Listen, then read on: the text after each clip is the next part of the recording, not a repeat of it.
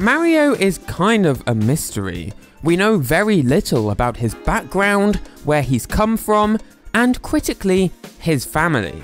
There's obviously Luigi, his brother, but even that's a bit inconsistent.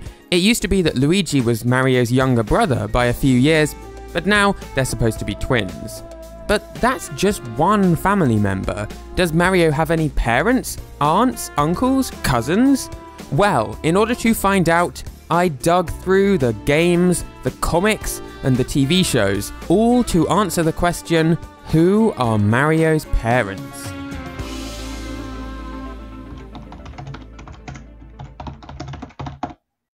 So, if we want to figure out the identity of Mario's parents, we need to travel back to the time of Mario's birth, or rather, when a stork delivered him and Luigi to their parents.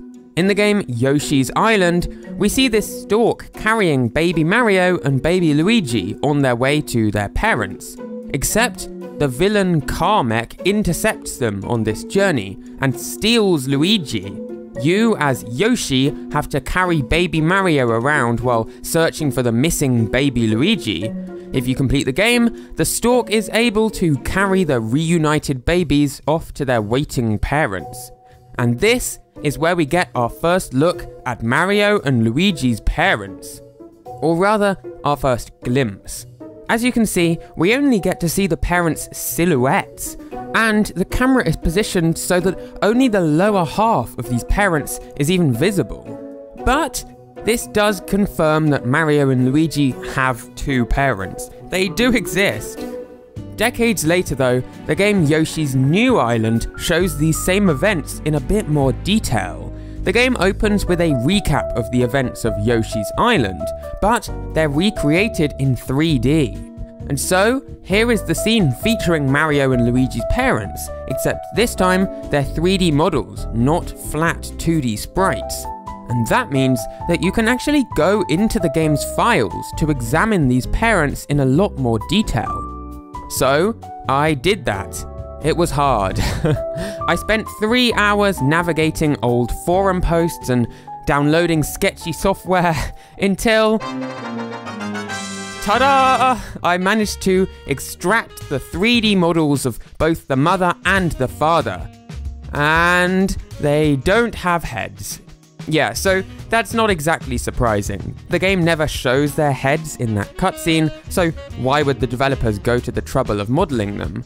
But we can get a much better look at the rest of their body. If we focus on Mario's mother for a second, first she has an animation where she walks up to the door, and then there's also an animation of surprise. The father also has his own walking animation and one for when he's surprised too. Except, returning to Yoshi's new island itself, if you keep watching that opening cutscene, there's actually a plot twist. It turns out that the stork made a mistake, and these are actually not Mario and Luigi's parents after all. So, the stork continues on its way in search of Mario and Luigi's actual parents. And at the very end of the game, we finally get a glimpse of the true parents. Again, they're 3D models, so we can go into the game's files to get a much better look at them. Except, these are actually the same models used for the fake parents.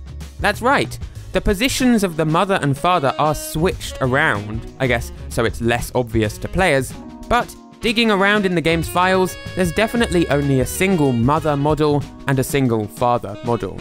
So, it's no wonder the stork delivered the babies to the wrong family. They're indistinguishable from the real family.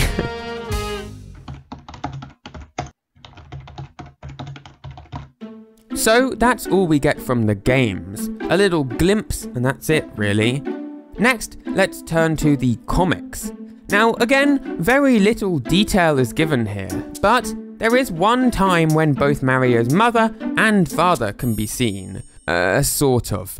One of the biggest Mario comics of the 80s and 90s was called Nintendo Comics System. And there was a one page comic published in 1990 called Family Album The Early Years, which shows some events from the early lives of Mario and Luigi.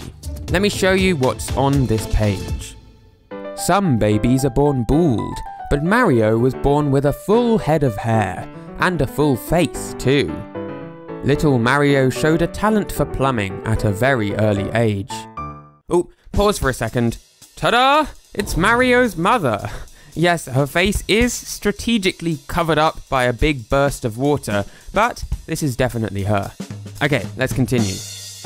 He even fixed his father's pipe. And there's the father. Again, this drawing is framed very carefully so as not to show Mario's father's face, but this is definitely the father. Now, there's no other mention of the parents here, but the last two panels are still interesting and horrific, so let's look at them too. Mario led the neighbourhood softball league in home runs. Here's a picture of Mario with his lucky bat.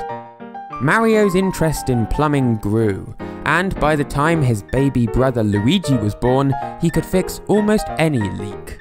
So that's the whole thing. Certainly an interesting look at Mario's uh, unique childhood, and also a rare glimpse at Mario's parents. Rare, but not unique to this comic.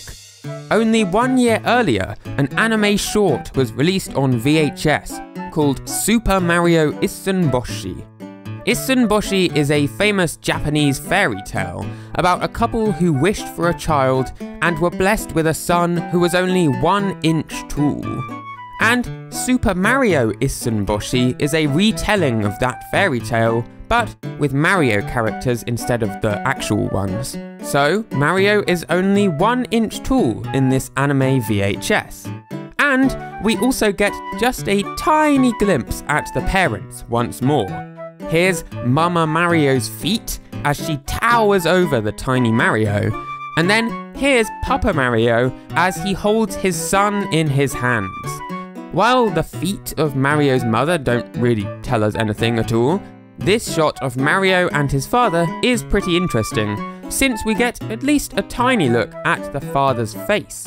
It appears to be very similar to Mario's face, with a big moustache and kinda pudgy cheeks. However, Super Mario Issunboshi is definitely not canon.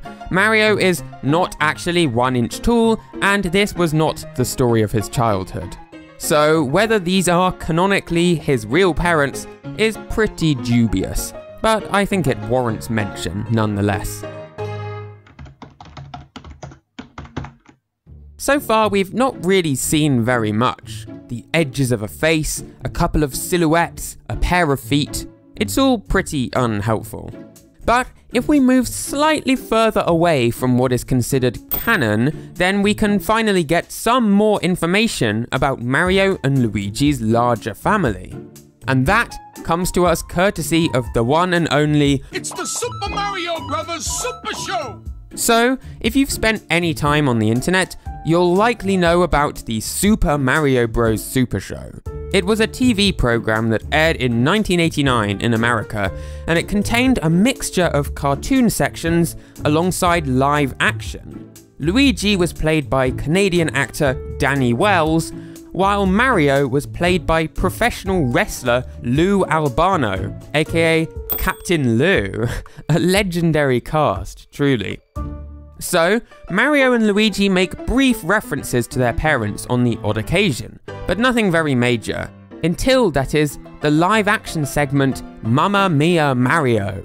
The episode opens with Mario and Luigi lounging around when all of a sudden they get a call from their mother. Mario Brothers Plumbing, you clog 'em, we clear 'em.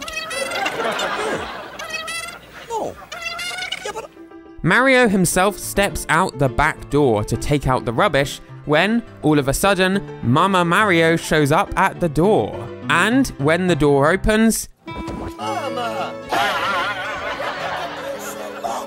I'm sorry, Ma. Yeah, you're sorry, but you never come when I look at back. Came as fast as I Oh, sure, what do you crawl under the floor? Here she is, Mama Mario.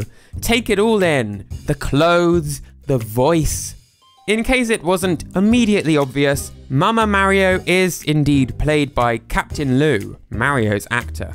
Now, Mama Mario appears throughout this episode, only ever interacting with Luigi for obvious reasons. Then, at the end of the episode, She leaves, Mario returns, and then there's another knock on the door. This time, Luigi has to go take care of something out the back, and then.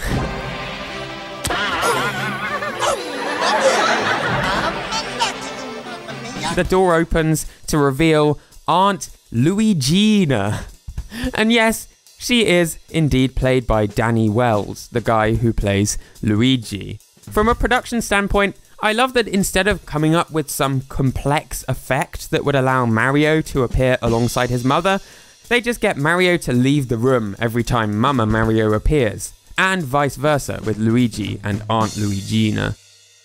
Now, Mama Mario appears in one other episode of The Super Show, this time during a flashback to Mario and Luigi's childhoods.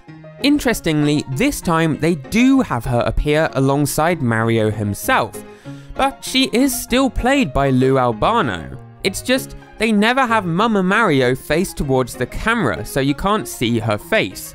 She was performed by a body double, and then later Captain Lou went back and dubbed over all her lines with his own voice. This is how the illusion of Mama Mario was kept up. Very crafty. What about other family members then? Well, we already saw Aunt Luigina, but she's just the beginning. There's a whole episode featuring Mario and Luigi's cousins, Mariana and Luigina, not the same as Aunt Luigina. Again, they're played by Captain Lou and Danny Wells, and again, Mario and Luigi are mysteriously absent for the whole episode. The same is true for the episode featuring Mario Joe and Luigi Bob, another pair of Mario and Luigi's cousins. That's all the relatives who appear in the show itself, but there's also been a Grandma Mario, a Grandma Mia, and an Uncle Tony. And then in other media, there's also a grandpapa and an Aunt Maria. And then finally, there's Marilyn, who is Mario and Luigi's niece and the only relative from Super Show who was not played by the actors of Mario and Luigi. Oh, and finally, she also has a mother too. And there's a tray! There's a tray! Nintendo of America released an official Super Mario Bros. tray. And there's a painting on the wall of a man who looks like an older version of Mario and might be Mario's father. Maybe. I don't know. It's only a tray. it's only a tray. Uh, thank you for watching. Sorry for the chaos that this descended into. If you want to hear about Peach's strange and canonically dubious family, I've made a video about that too. It's on screen right now, and I'll see you next week. Bye!